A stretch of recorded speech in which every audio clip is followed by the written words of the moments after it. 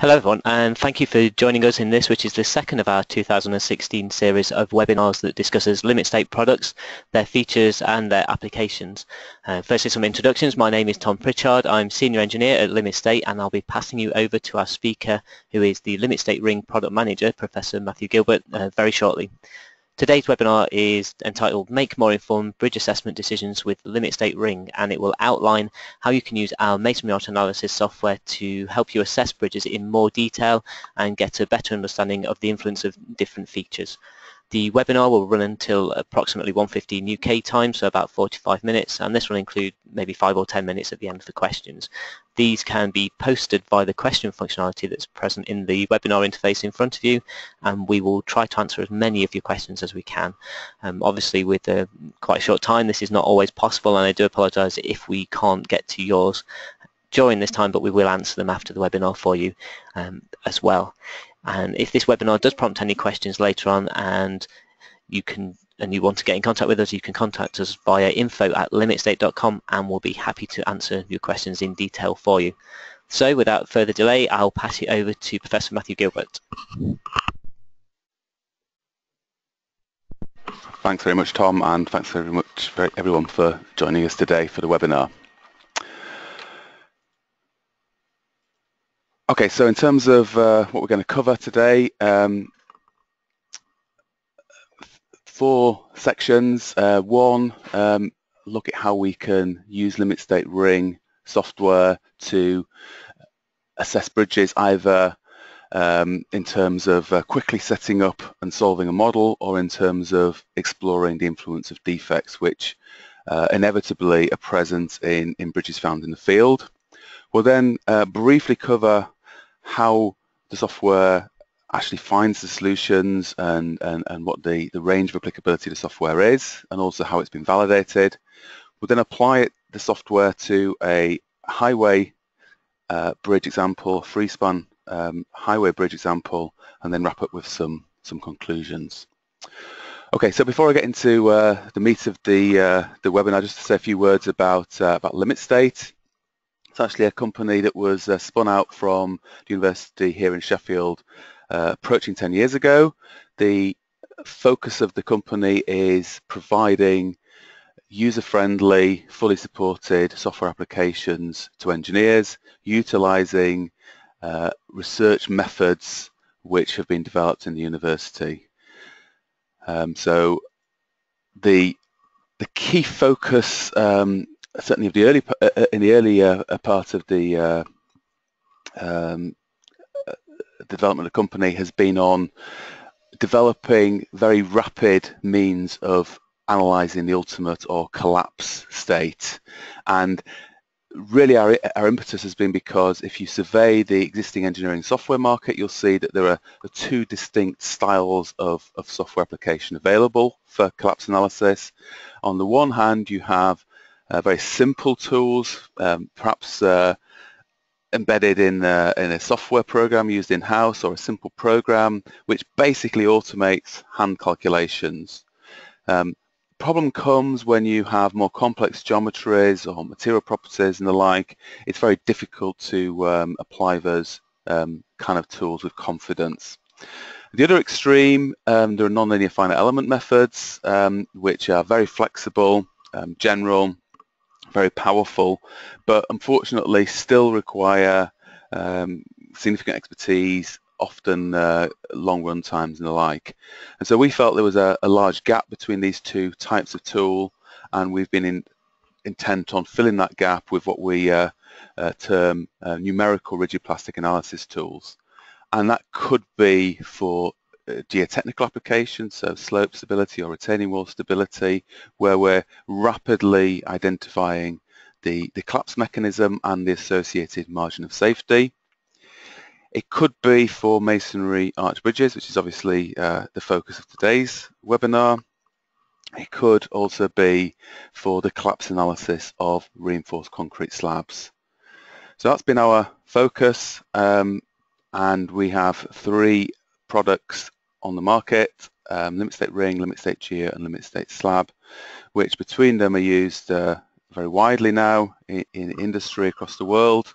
So the slide that you can probably see now gives you an indication of, of some of the companies that are using the software. So large companies, AECOM, Amey, Arup Atkins and the like, and also much smaller companies and also local authorities. Okay, so um, that's a bit of a sort of introduction to limit state. Um, moving on to the, the webinar proper, um, uh, carrying out a bridge assessment using limit state ring.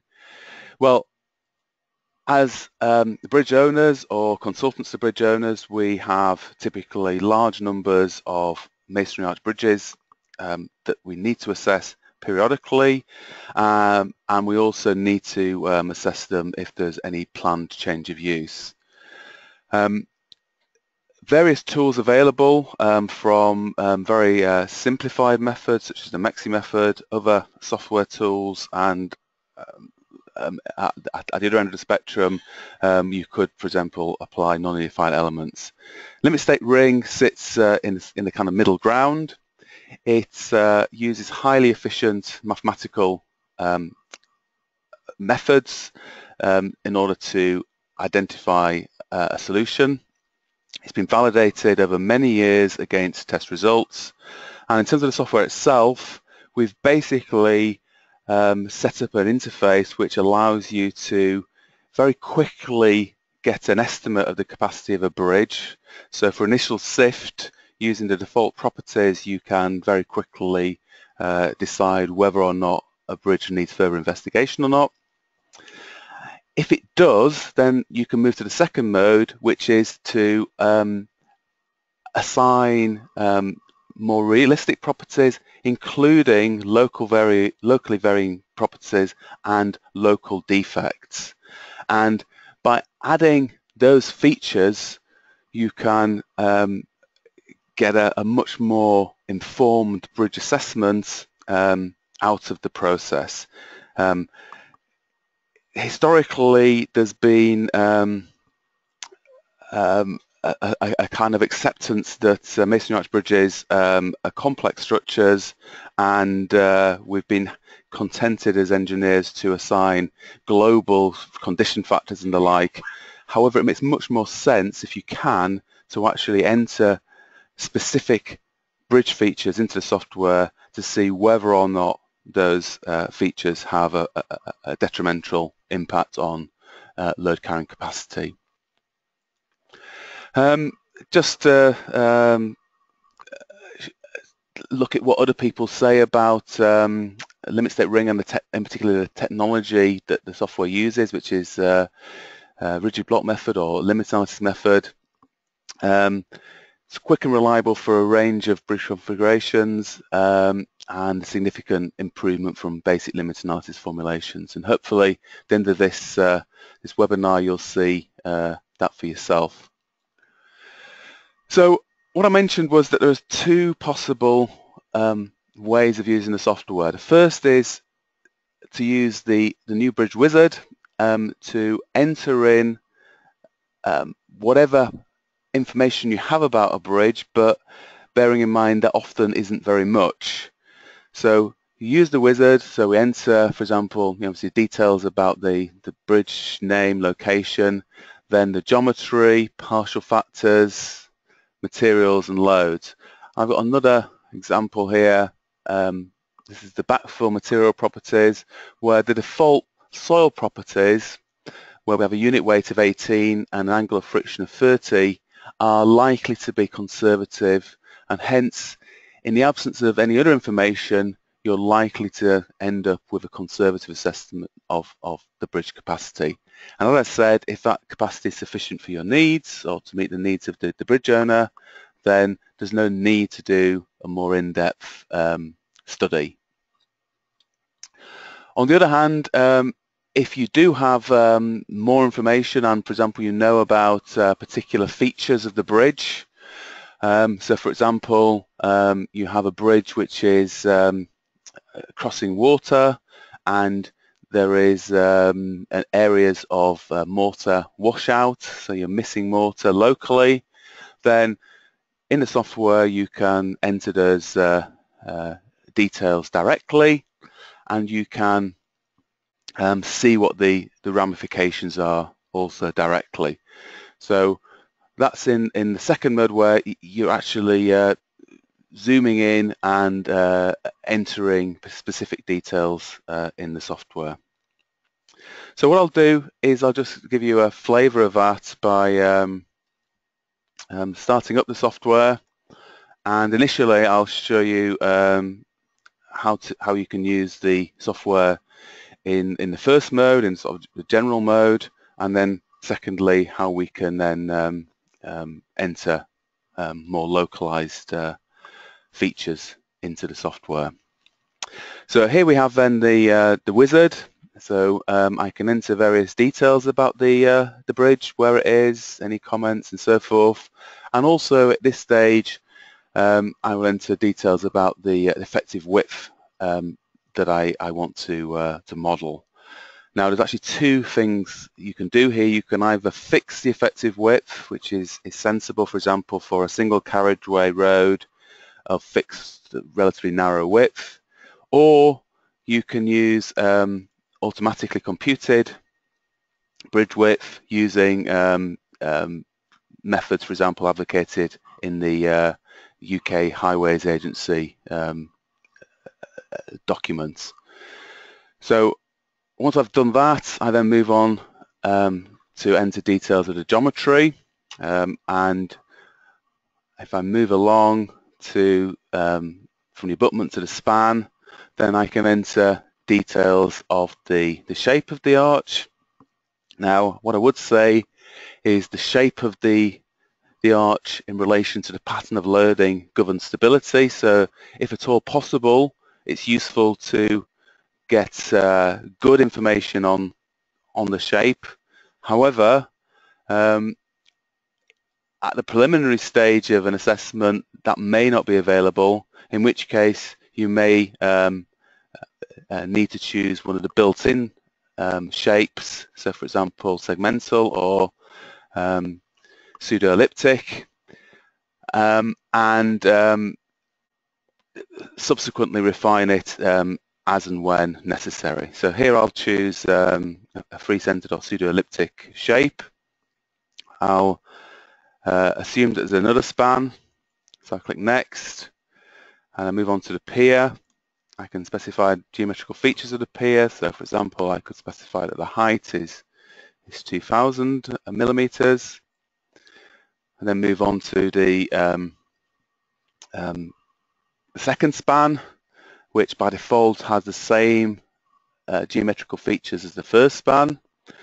Here I'm assuming I've got a stone voussoir arch, but I could uh, instead, for example, um, assume that it's a multi-ring uh, brickwork arch, in which case I could enter details of each individual ring, and those rings um, uh, will have the potential to slide relative to each other um, to model the effect of uh, you know weak uh, or degraded mortar.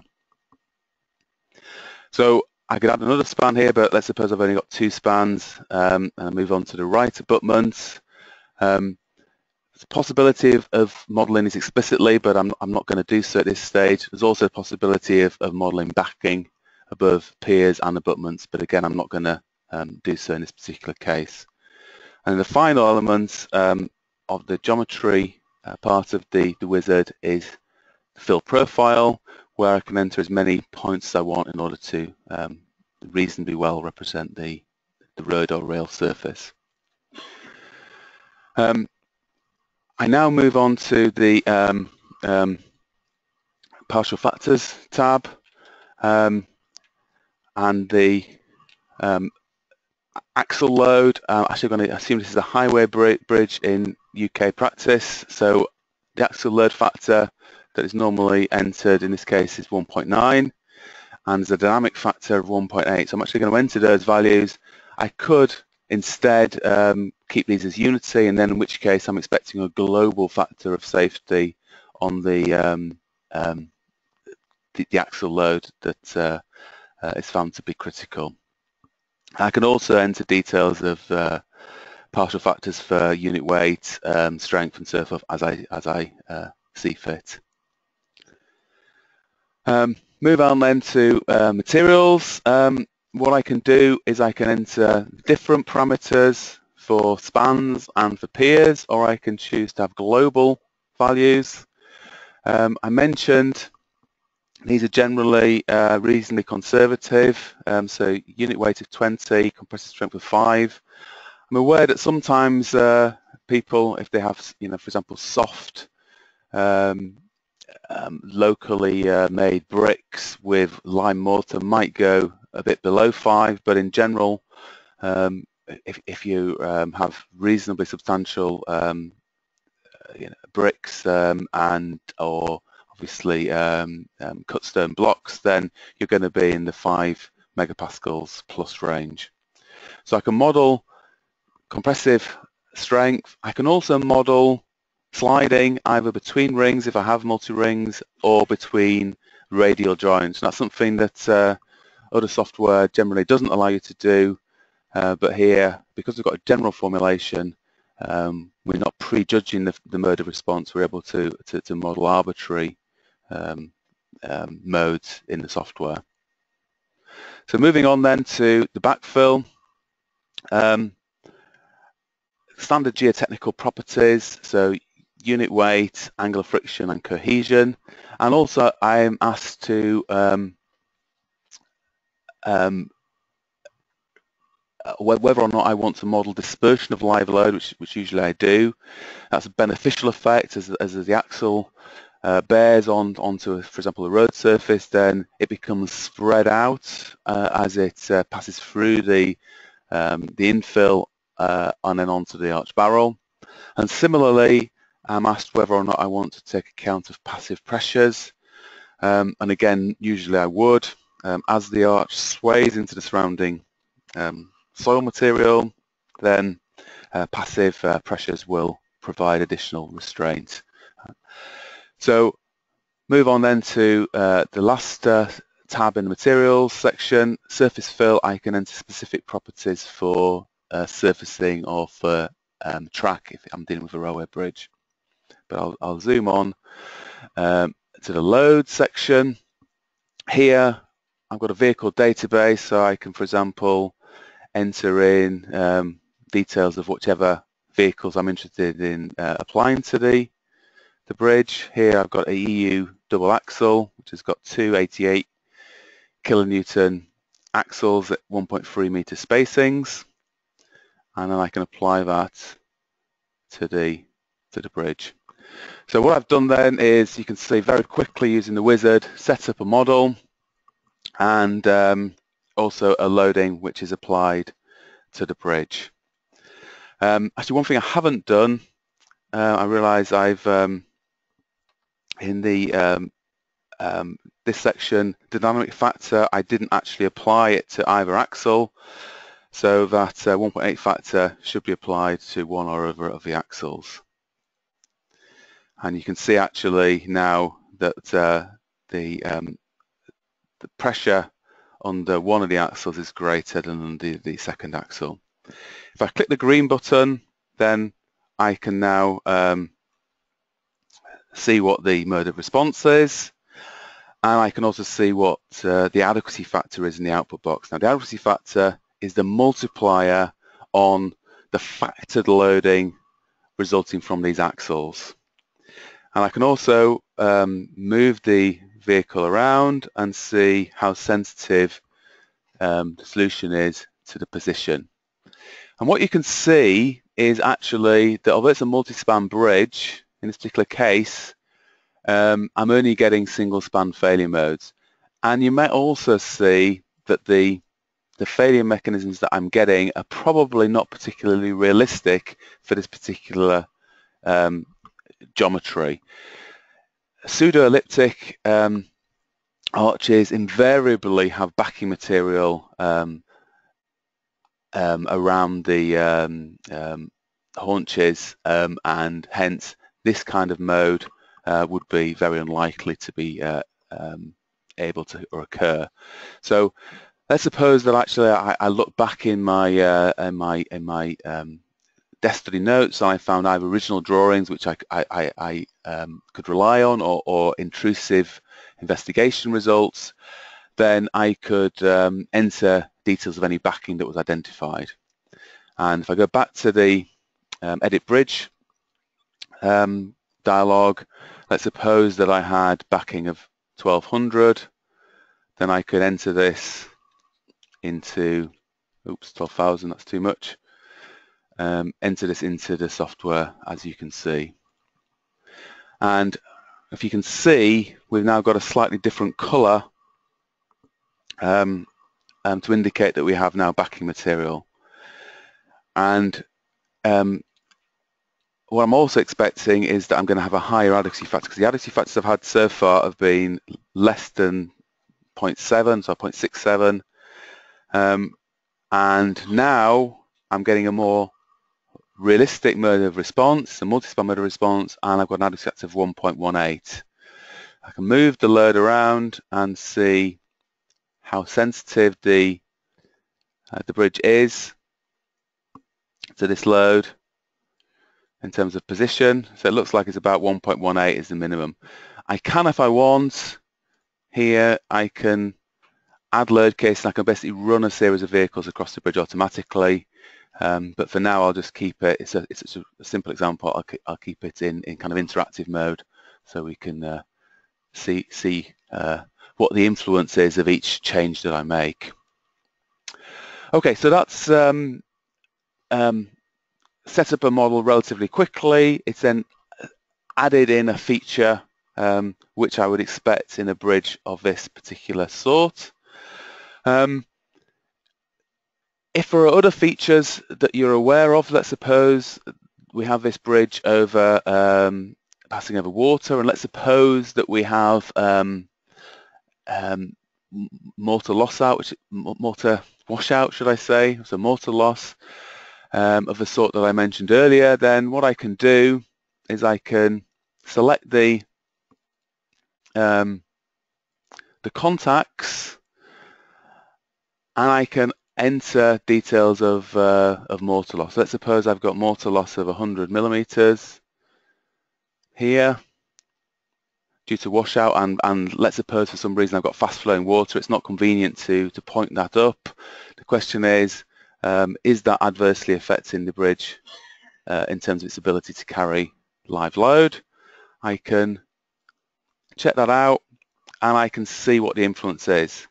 Actually, the adequacy factor has gone down from 1.18 down to 1.09. So it has had an influence, um, albeit um, not a huge um, um magnitude. I can also um, play around with the properties. So it's not just mortar loss. I can, for example, if I had, for example, some in indication that I had a weak layer um, at the top of the uh, the pier. Let's suppose I had um, a different um, uh, material with a with a, a, low coefficient of friction. It's, it's probably not particularly likely, but I can enter details and I can see how that affects the um, the, the, the outcome. This particular case it hasn't. If I set it a little bit lower than that, maybe it will. Actually, I didn't actually change it.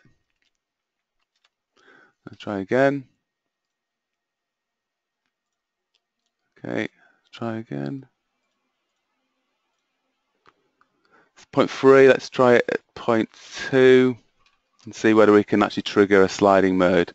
So sometimes it's quite fun to see um, to explore the parameters. Often you don't know what the values of parameters are, and it's, it's interesting to see how sensitive the bridge is to certain parameters. This particular case, it's not particularly sensitive to coefficient of friction within a reasonable range. I've got to drop it actually to an unrealistic value, 0.2, before I get uh, um, a change to the of response. Okay, so question is, how are we getting um, a solution. How does it work? Well, first thing to say is with regard to the, um, the soil surrounding the fill, we don't actually model that directly. We model the anticipated effects, and those effects are to disperse the load, which then uh, arrives onto masonry blocks. Those masonry blocks then talk to each other, metaphorically speaking, through contacts, and it's contacts where we have the, the interesting modes of response. So hinging, crushing, sliding. And then the movement of the arch barrel is restrained by um, passive uh, um, soil pressures, which in this case are represented by uh, what we term backfill elements. And those backfill elements effectively work in one direction only. So in other words, we model passive pressures, but we, we neglect active pressures because they're generally relatively small. So these are the uh, the um, the elements of the um, the bridge that you will see after you've solved. So you see the blocks with hinges shown in red, a thrust line or thrust zone shown in blue, um, regions of the soil where backfill pressures are mobilized are shown in, in, in blue as well. So backfill elements which are, are on and backfill elements that are not on are just shown in grey. So that's the software. How does it actually find a solution? Well, of all the permissible equilibrium states, which we can represent by lines of thrust fitting within the arch geometry, we use optimization to find the one corresponding to the maximum load factor. And that also corresponds to the point at which the mechanism of collapse just forms. In terms of mathematics, um, don't worry too much about the equations. Really what we're doing is setting up equilibrium equations. So for every block, we're looking at equilibrium in the, the x, y, and rotational sense acting on each block, um, we have contact forces, so shear, normal, and moment, and we also limit those contact forces um, to make sure we don't get sliding, and also we don't get um, um, uh, um, rock. Oh, oh, well, to model rocking and sliding um, modes appropriately. And in terms of the way we solve this, the, the, the problem, we basically set up and solve a linear optimization problem, which is very, very quick and easy to solve. And I mentioned that this software was, has been actually uh, validated over many years with um, test results. It's actually it was developed in the early 1990s um, in parallel with an experimental testing program. So here we've got a, a bridge that's built in the laboratory in the early 90s and the software in early form was used to in order to predict the uh, behavior of, of, of, this and other bridges.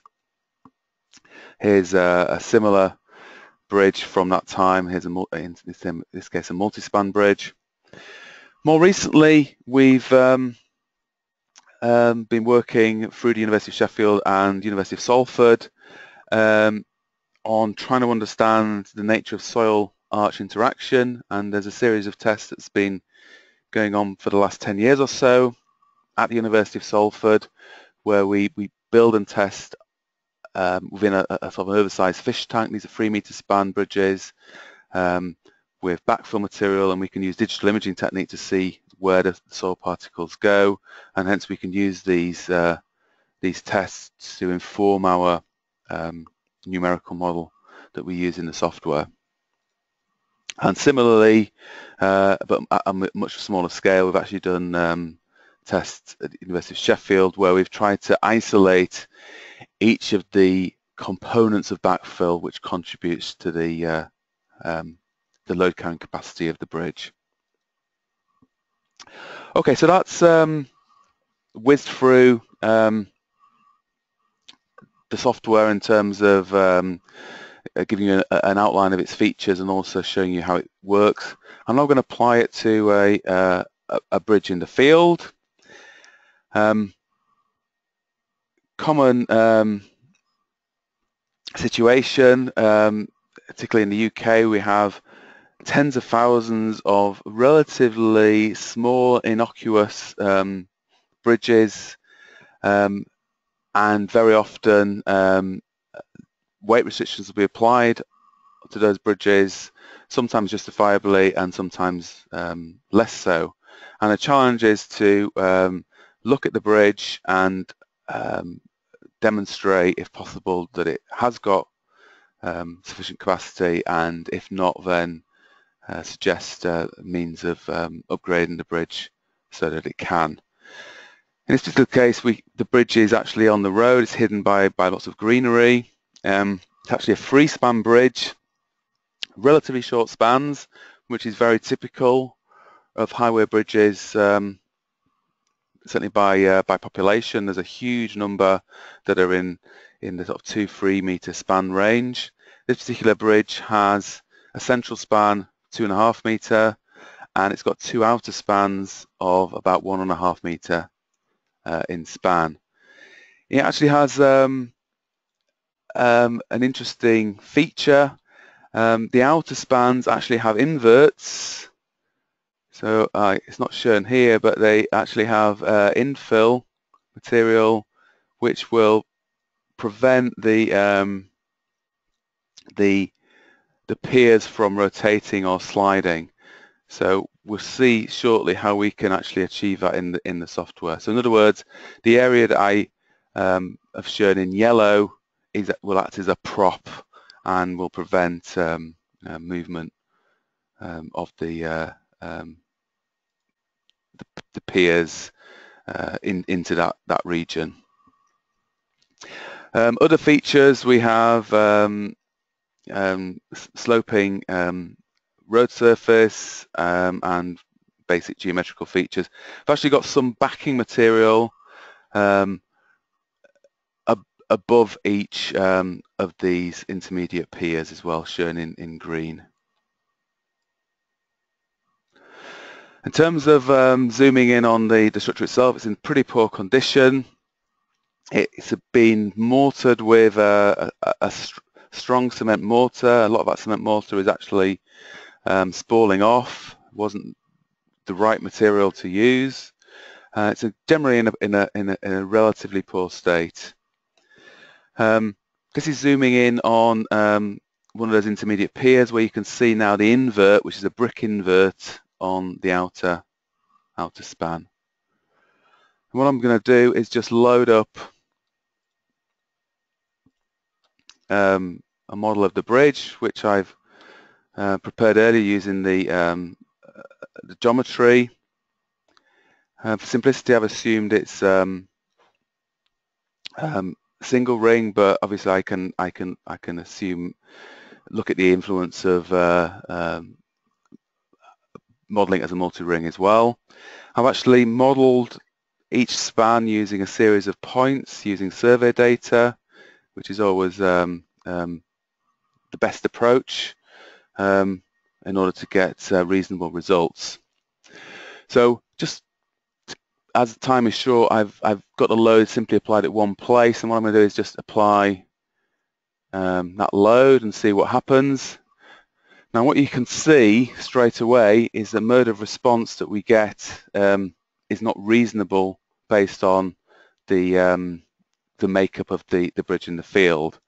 So what I'm going to do is um, actually um, effectively stick the um, the blocks together um, in the regions shown. Actually, that's probably okay. Um, so using the, the, the group select, I'm going to select contacts, and what I'm going to do is I'm going to prevent um, hinging and sliding from occurring. And so what you can see then is um, that that uh, um, the, the, slightly coloured um, contacts now um, are going to be prevented from hinging and sliding. I've probably gone too far actually. I've probably um, um, restricted the, the base of the central um, span, but uh, you, you, get the idea. So if I click solve now, then um, you can see that I get a quite different mode of response. Um, in terms of loading on this bridge, if I look at the loading that I've got, I've actually got a, a single axle, so an 11.5 ton single axle.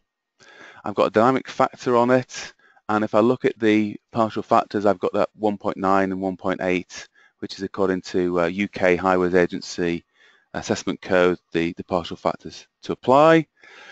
And now, um, my multiplier on my factored axle load is 1.46. In other words, it's saying that this, this bridge um, is able to carry um, this, this, this load.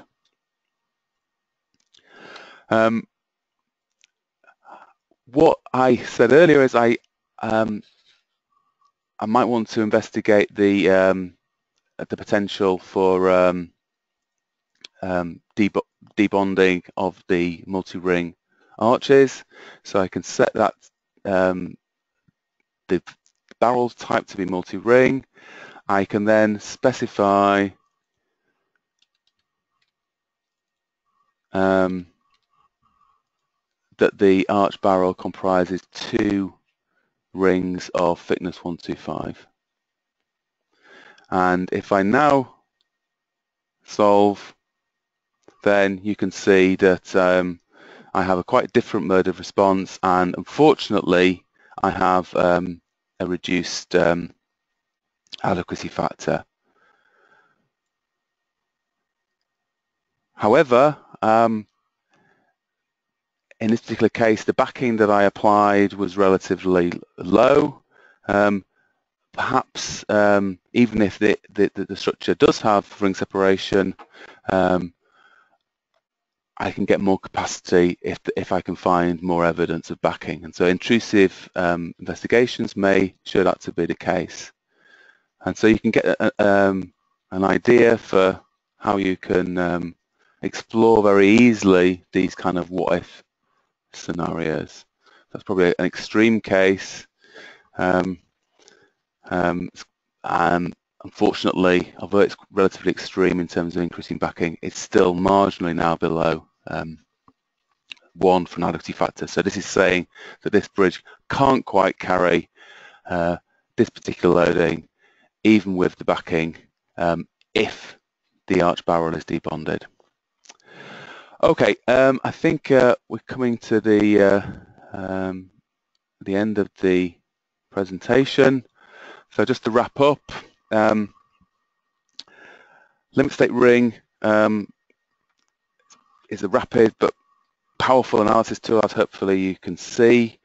Um, very um, easy to to model a whole variety of different modes of response including sliding, multi-ring, and so forth. Um, in terms of bridge assessment, um, two modes, quick mode using default parameters and a, and a more detailed mode using detailed knowledge of the bridge, including real-world features such as, such as defects.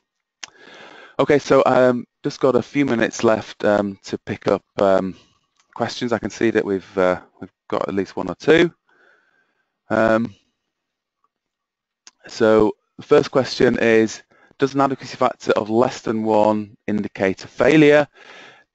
The answer is it depends. If you apply um, partial factors to your load, then the adequacy factor then is a factor on a factor and it does need to be greater than one um, in order to signify a pass. If you don't factor your um, your loads and, and materials, etc., then the adequacy factor is actually a global factor of safety. So it's like a traditional global factor of safety. You may be looking for a factor of 2, 3, 3.4, whatever it might be. Um, second um, question, is, is, is Ring capable of modelling um, skew arch bridges? Um, the answer is um, Ring is a two-dimensional program. So what it does is it models effectively a, um, a slice, two-dimensional slice of a bridge. Um, however, um, if the amount of skew is relatively um, small, so you know 20 degrees or, or less, then um, research seems to indicate that it's justifiable to um, use a, a two-dimensional analysis anyway. In other words, the, the effective skew isn't doesn't doesn't dominate. If you have you know huge amounts of skew, 60 degrees, then you're really you're really pushing it to uh, apply a two-dimensional tool of any sort to the problem. Um,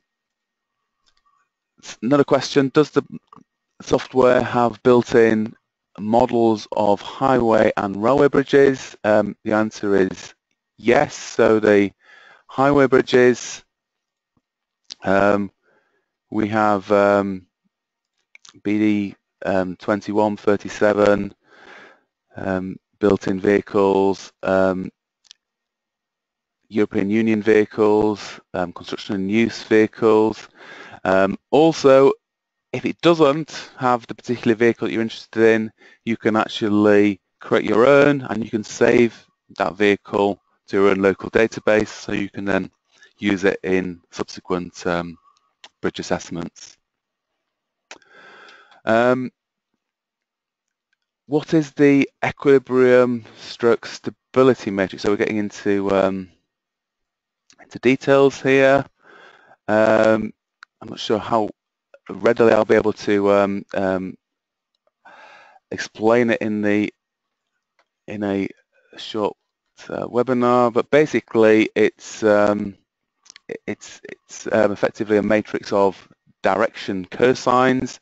There is actually in the the manual a worked example which um, actually has for for a free voussoir arch, if I remember correctly, all the different um, um, terms which will uh, help you understand uh, how the software works. Um, another question, does the software allow you to apply settlements? Um, yes and no is the uh, is the answer to that. Um, just trying to find, find, my mouse. It seems to have uh, disappeared. Um, okay, so if we go back to um, this example, um,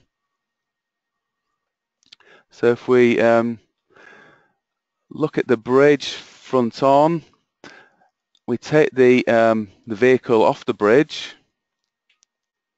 then what the what the software is doing now is it's trying to um, increase the load in order to cause failure. It can't. Um, another mode of mode of, uh, of use for the software is actually to um, use the support movement wizard in order to um, apply a settlement, and that's very useful for trying to understand why you have, for example, existing cracks in um, in a bridge. So it's a very um, useful um, way of understanding how the bridge has got to be in the form that it is. You can also then drag the vehicle back across the bridge and see whether or not you have opening and closing and joints and the like and things which might uh, lead to a shortening of the, the lifespan of the bridge. I think we we, we do have some more questions coming, but I think we're running out of time, so I'm just going to um, hand back over to Tom uh, we will respond to those remaining uh, questions by email uh, after the event.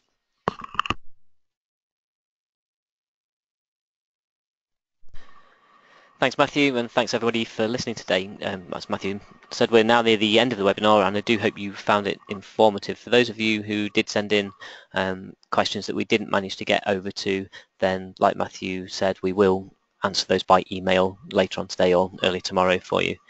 Um, for people who aren't current users of Limit State Ring, then we'll be in touch over the next few days just to get some feedback about the webinar and find out if you have any further questions and to see whether you think the software will be useful to you. Uh, for people who are current users, um, as mentioned right at the beginning, if the webinar has prompted any questions, then please do get in touch with us via info at limitstate.com and we'll be back to you as soon as possible with answers to that.